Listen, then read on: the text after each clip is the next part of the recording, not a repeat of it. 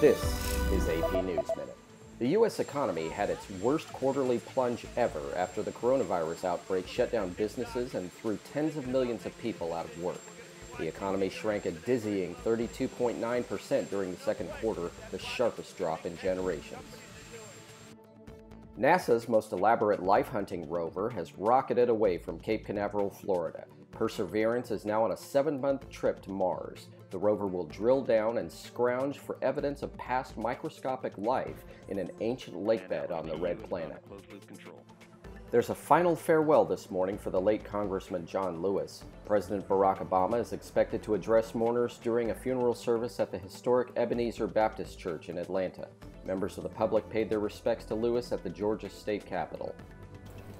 And for the first time in nine years, a rare red panda was born in Berlin's Tierpark Zoo. The red panda cub is now about the size of a guinea pig.